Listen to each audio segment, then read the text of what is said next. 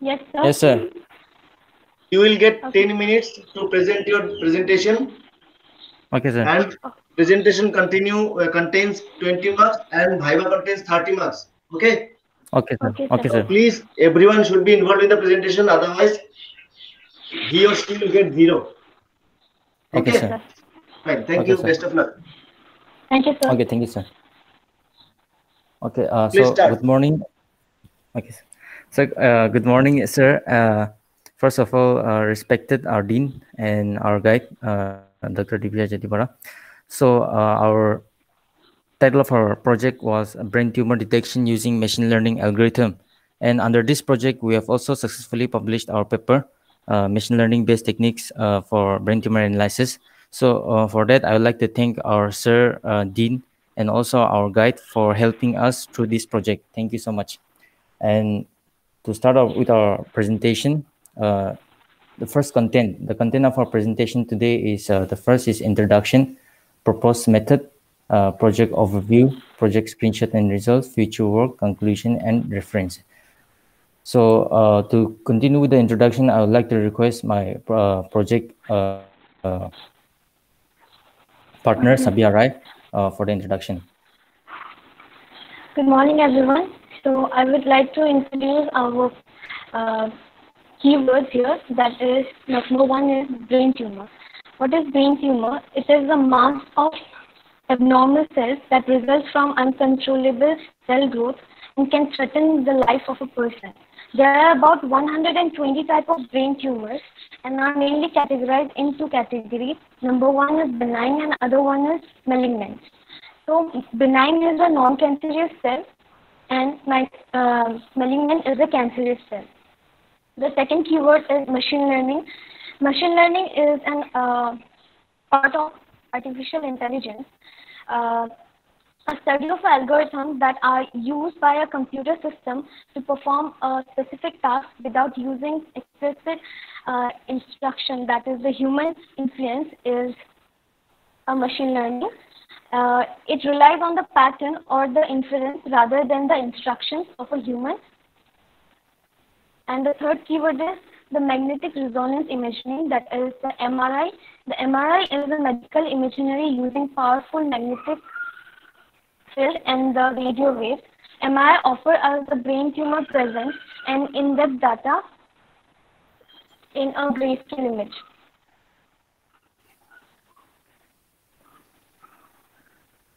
So uh, So- for this, uh, the diagram that we can see, so this is the basic uh, structure of a detection system, which means that this uh, this diagram is not only for brain detection but also for any kind of detection system. So uh, before going into the proposed methodologies, we need to understand the first uh, how a detection system works.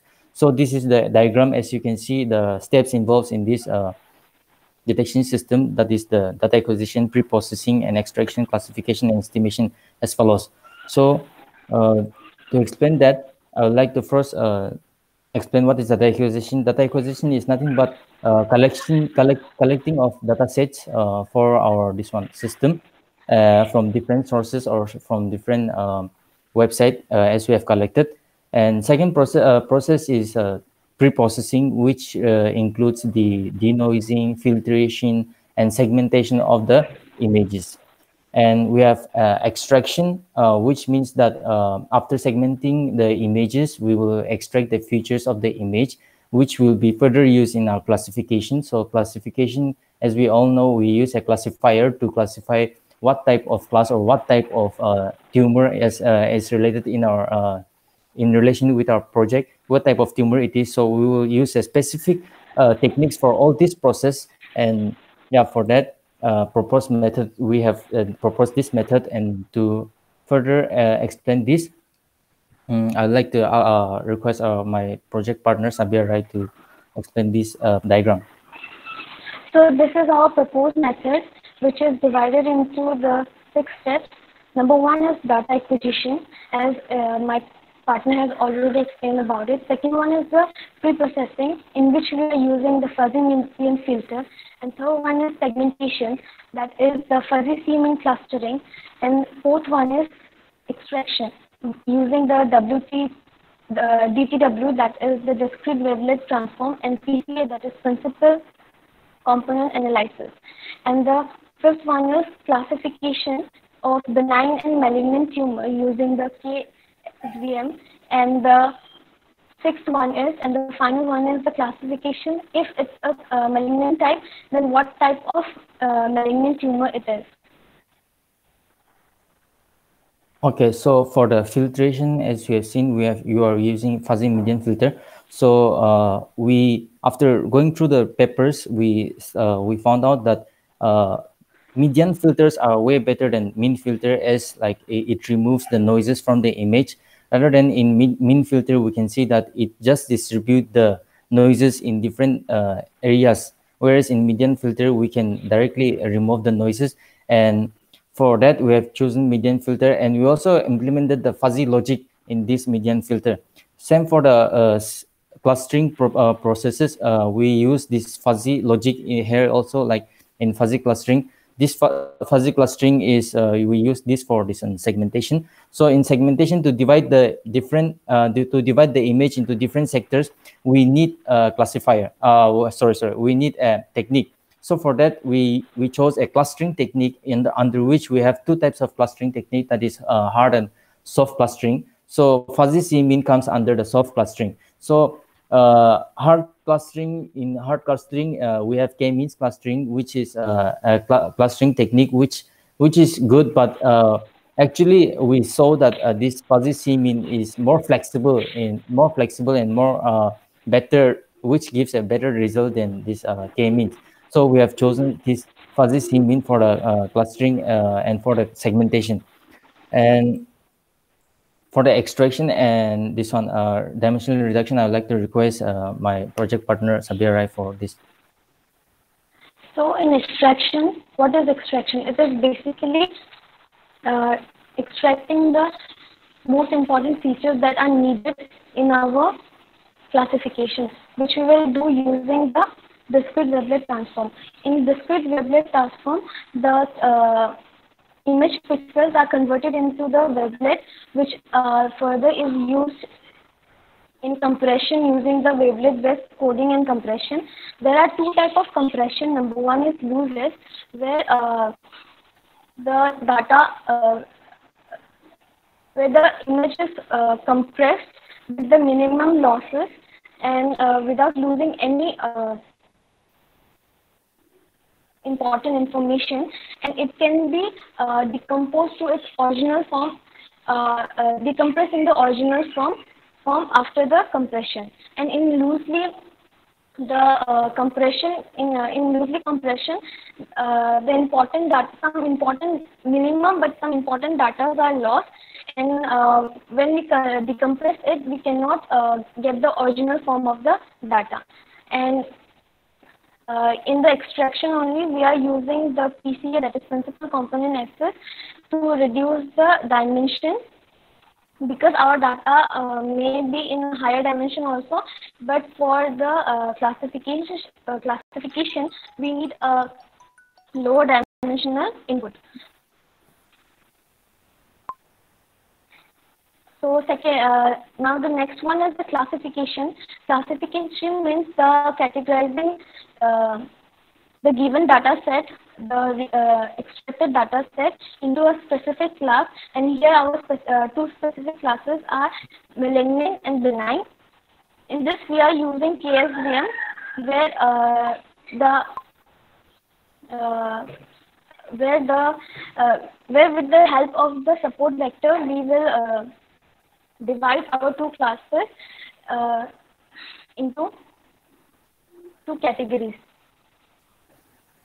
And the uh, and the next one is multi-SVM, which is uh, used to segregate more than two classes after uh, uh, classifying whether it's a benign or the malignant tumor. We will classify our uh, malignant tumor into six groups.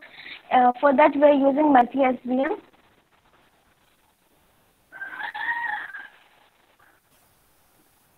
Yeah, so the uh, next our project overview. So this project was prepared uh, with the aim up to come up with a more accurate and less time consuming other uh, in comparison to other or existing uh, system that we that we go that we have gone through. And for that, we have used some uh, procedures and some steps uh, to ensure that our system is working a little bit faster or like more time less consuming and has a more accuracy so uh, for that, we will go to the screenshots and project. So for this one, uh, I'd like to uh, ask my project partner for explaining this uh, screenshot, the first, first screenshot. So uh, this is the uh, this is a screenshot our, of our trained data set that after extracting the features from the given data from the raw data set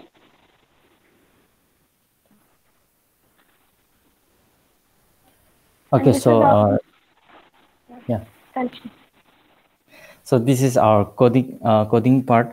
Uh, actually, uh, as we know that we cannot add every code into the this one uh, system uh, in this screenshot. So I have just added the first portion of the code, and if we see in the uh, like upside, uh, we can see the classification class one, class two, class three, and cross validation, extraction, segmentation. So all these uh, are divided as like this, and we have written the codes in, in this order.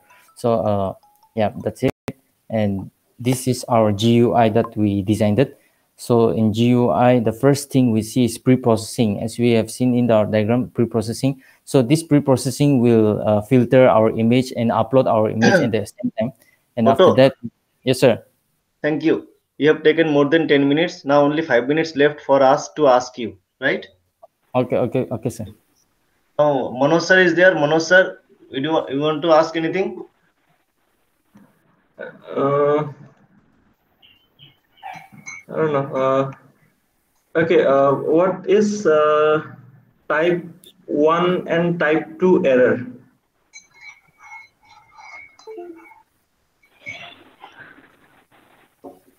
Sorry, sir. What is type 1 error and type 2 error?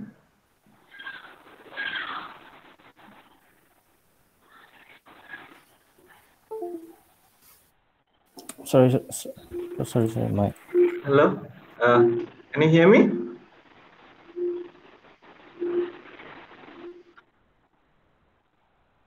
Hello.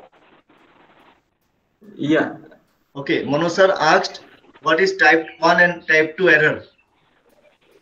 Okay, type 1 and type 2 error. Sorry sir, I don't have any idea. Hmm. No, no idea. No sir. False positive, false negative, did you do anything like this in your uh, project? Project. No. Uh, no, I didn't. It didn't come anything like false that. positive, false negative was not done. No sir. No, sir. Okay. okay. Can you tell me? I have two, three questions, right? Okay. Sir. Manoj sir, can I ask? Yeah, sure. I'm done what is uh, you you told in your presentation you told somewhere you told about classification somewhere you told about segmentations yeah correct yes sir yes sir yes, yes, sir. me the difference between classification and segmentation at least one difference okay sir so uh, segmentation as we know it's an unsupervised uh, learning method and classification is a supervised method so that is a one difference and for segmentation fine done uh, done done done done okay, okay sir. Okay. Now, in your presentation, you told about multi-class SVM. Yes, sir. Yes, sir. Okay. How multi-class SVM differs from SVM? So, sir, basically, SVM is a, uh, linear method and uh, multi-class is a non-linear method where we, uh, in SVM, we can uh, divide the divide the datasets only in two uh, two classes, where in multi-SVM we can divide uh, it into more than four and five classes rather than two classes. That is the main difference. And okay, in fine, fine, fine. Now, how you came to came into this conclusion that your project will require multi-class SVM? Matlab, you have chosen multi-class SVM for your project. Yes, sir. On what basis? What are the signals? What are the signs? What are the symptoms that ask you or that tell you ki we should use multi-class SVM, not SVM or net, not any other classifier? So because uh, my, as my project partner has said, like uh, SVM can only classify two types of uh, classes, but in a, a multi SVM we can classify more than two types of classes, and which. So in your need- project, in your project, how many class you you you are uh, talking about? uh, So sir, for multi SVM, sir, Uh-huh. multi-class Yes, SVM, sir. Now, in your project, how many class you you you uh, already you you are going to apply or you applied? How many class is there? Eight- you are eight- saying you are saying benign and malign. Yes, sir. That's that is So that is for the uh, like what type of tumor it is. After that, the multi SVM is used for if it is the mani- uh, malignant see, tumor. see, see, see, hold on, hold on. Yes, sir. In your project, how many class you have chosen? So we have chosen uh, six till now, and including Please, this please, uh, please, benign please and- tell please tell the classes class names. So it's a name of the, the types of tumor, sir. So, uh, Okay. for example, like secroma, sir, yeah, yeah, secroma, glioma, sir, and all those. Okay, okay, fine, fine. So and uh, and uh, yeah, these are the types of tumors, right? Yes, sir. Yes, sir. Okay, if if they are malign, so and they are benign, how you will class- classify them again? So using SVM, sir. So again, you are using SVM only. Then these two class where they will, uh, uh, I mean, they will be, uh, I mean, this this one, they will be taken. I mean, ये जो दो class जो है benign and मेलाइन है तुम बोल रहे हो. छह क्लास है अबाउट ट्यूमर ये बिनाइन एंड मेलाइन जो है ये भी दो क्लास है इनको कहाँ रखे हैं आपने एसबीएम में So SVM में रखा है वो, वो uh, the first two class that is the benign and malignant we have kept in SVM, and Okay. for the multi SVM we have kept six class. So these are the two di- two different types of uh, this one classific classifier we are using, sir. So in multi SVM we are using six class, and in uh, SVM we are using two class. Okay, thank you. I am done. Thank you, sir. Okay, thank you, sir. So how how did you check the accuracy? So accuracy using this uh, kernel kernel accuracy. If you can see the screenshot, like we have checked the accuracy according to that, sir. Okay, so uh, you don't take into consideration of uh, false positive and false negative. No, For this- sir. Debus sir, is uh, is is false positive, false negative uh, really necessary for the uh, accuracy of the model? Huh. For classification, huh? Confusion matrix. Uh, so uh, it, it it is not necessary in their uh, model classification for classification. It's not necessary here. It is necessary, right? Uh-huh. Uh-huh. Yes.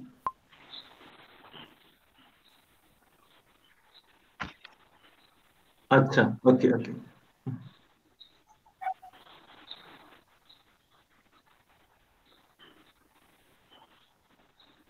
Oh, acha, acha.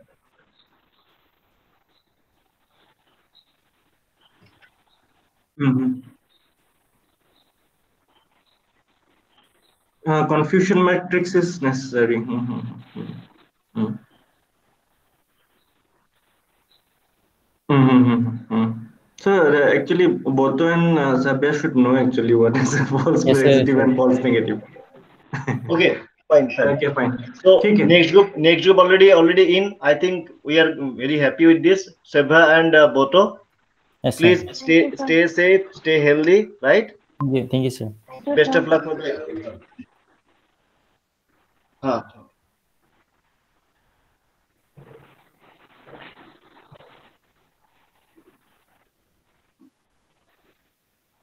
Thank you, sir. Thank you. Sir. Yes, sir. Yes, So sir. we have noted it down, sir. And I, I request Boto, I request Boto and Sabhya, please continue your study and do some PhD or some better uh, further study, right? Thank you so much, Thank sir. Thank you yeah. so much, sir. Okay. Okay. Thank you. Bye bye. Take care. Thank you, sir.